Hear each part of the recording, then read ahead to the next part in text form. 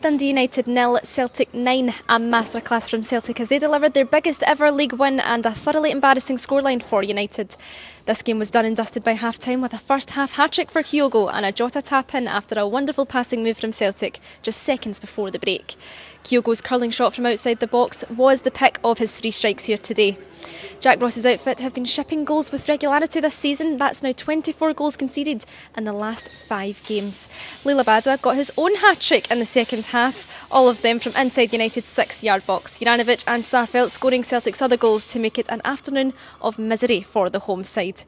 United boss Jack Ross offers his apologies to the fans and says that today's performance was not reflective of wearing the jersey. I think first of all we owe them an apology for today um, because the manner of the scoreline, but the manner and the goals in which we concede. Um, large aspects of the performance un, un, um, unreflective of wearing a jersey professional football. So um, that apology is the first point. I think the second of all, my determination to put it right will remain as consistent. I've done this for a long time and I've worked in a consistent manner. Um, so I say about being humiliated and embarrassed and say that hurts my professional personal pride and um, I want to fix that. Ange Postecoglou says that the key to today's win was remaining focused and having everyone contribute despite the scoreline. It finished here Dundee United nil, Celtic 9.